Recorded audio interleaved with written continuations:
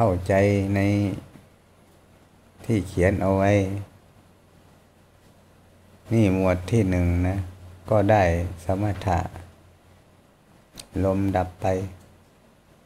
ก็เหลือตั้งแต่จิตโผล่ขึ้นมารู้รู้รู้อยู่เฉยๆง่ายง่ายไม่มีอะไร ขอให้เราฝึกสติ มาละลึกรู้ว่าดาวว่าสั้น ถ้ารู้ว่ายาวว่าสั้นว่า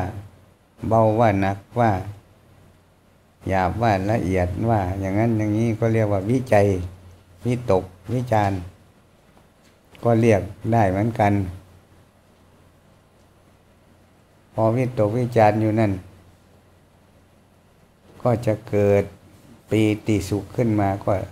หมวดที่สองแล้วที ปีติสุข เอกัคตาลม ปีติสุขก็จะเกิดขึ้น ตอนเราวิตกวิจารอยู่ ว่ามันละเอียด มันเบา มันนิ่ม จิตของเราก็จะเกิดปีติ ไม่ได้ซื้อไม่ขอใคร ขึ้นมาเอง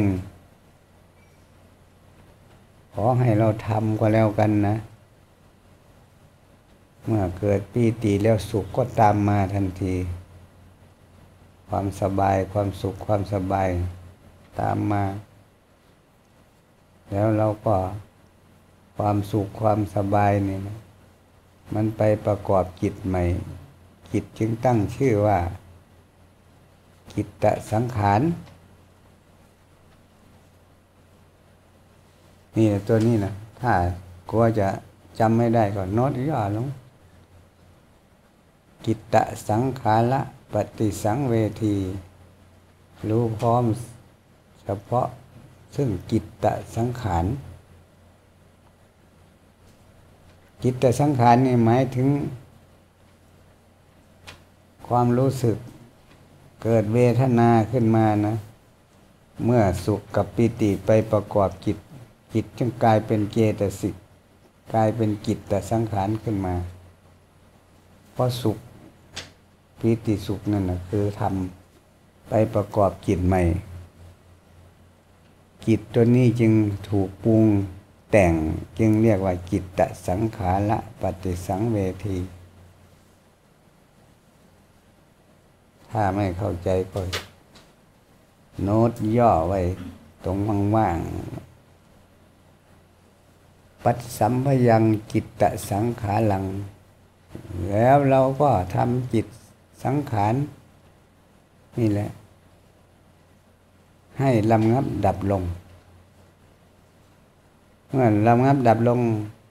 ก็จะเหลือแต่จิตแท้ใจเดิมเป็นผู้รู้รู้รู้รู้อยู่พอมันขึ้นเป็นหมวดที่สามจิตตะปฏิสังเวที ก็เอาจิตมารู้อยู่ เฉพาะซึ่งจิต รู้พร้อมเฉพาะซึ่งจิต เมื่อเห็นจิตเจ้าของ เป็นผู้รู้รู้ว่างอยู่งั้นแล้วก็ทำจิตให้เกิดปาโมดอภิปปโมถ้ายังกิตตังปาโมดลื่นเลิงเบิกบานอยู่ เมื่อใดปาโมดเลื่นเลิงเบิกบานอยู่ จิตก็จะรวม ตั้งมั่นเป็นสมาธิก็เรียกว่าสมาทะหัง สมาทะก็แปลว่าสมาธินั่นแหละ สมาทะหังกิตตังจิตก็จะตั้งมั่นเป็นสมาธิ เมื่อจิตตั้งมั่นเป็นสมาธิ ก็จะเกิดวิปปโมทยังจิตตั้ง จิตก็จะปล่อยวาง ว่าอย่างนั้นไหมว่าปล่อยวางไหมปล่อยวางโลกวางอารมณ์วางสมมุติวางขันห้าวางอดีต วางอนาคตรู้รู้รู้เฉยนั่นอุเบกขาเอกคตาลม นี่แหละหมวดที่สาม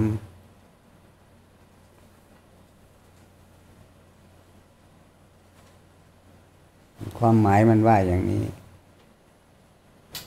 ขึ้นหมวดที่สี่ข้อหนึ่ง หาก เราดูลมหายใจไปเรื่อยๆ ไม่ต้องทำอะไรมัน แต่เห็นว่า ลมหายใจเข้าแล้วก็ออก เข้าออก เข้าออกอยู่ ไม่ต้องไปเดือดร้อนไปต้องทำอะไร ไม่สงบไม่อะไรไม่ไปปรุงแต่งลมจะเห็น ลมหายใจเข้าออก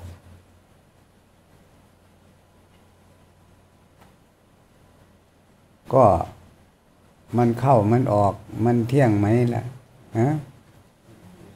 ไม่เที่ยงก็เรียก พระองค์ว่าแกเห็นอนิจจานุปัสสีนี่เห็นความไม่เที่ยงอยู่เป็นประจำเมื่อหายใจเข้า เห็นความไม่เที่ยงอยู่เป็นประจำเมื่อหายใจออก ก็เรียกชื่อว่าอนิจจานุปัสสี ดูไปดูมา มันก็จะเกิดวิลาคานุปัสสี เบื่อหน่ายคลายความยินดี เรียกว่าวิลาคานุปัสสี ไม่ยินดีไม่พอใจ เพราะว่ามันเกิดมันดับ มันไม่เที่ยงแท้แน่นอนอไว้ใจไม่ได้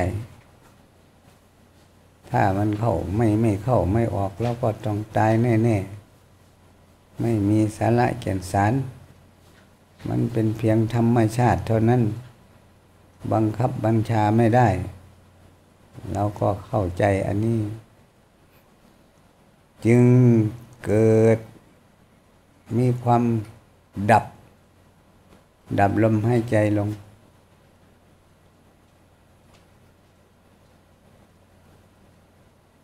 ปล่อยมันทิ้งไป ดับแล้วก็นิโรธานุปัสสีนั่นแหละดับ นึกออกไหมล่ะ นิโรธแปลว่าดับ ดับด้วยสติปัญญารู้ว่ามันไม่เที่ยงมันเป็นทุกข์ แล้วก็ปล่อยไป ลงไปถึง วิธีดับก็คือสลัด ทิ้งสลัดออก ของไม่ดี สลัดทิ้งไป เหมือนเขาสลัดมือสลัด